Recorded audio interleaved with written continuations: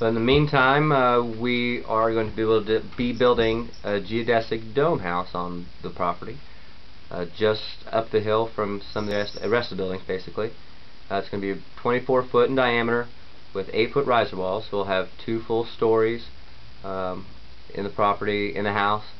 There'll be have the living room, kitchen, and a bathroom downstairs.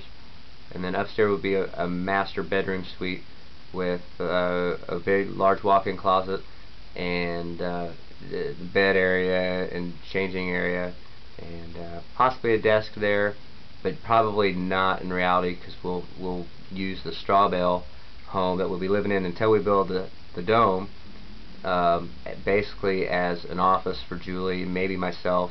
Probably put my desk in the workshop and kind of take over the workshop as my space and and she'll be using the straw bale uh, for her space for most of the year.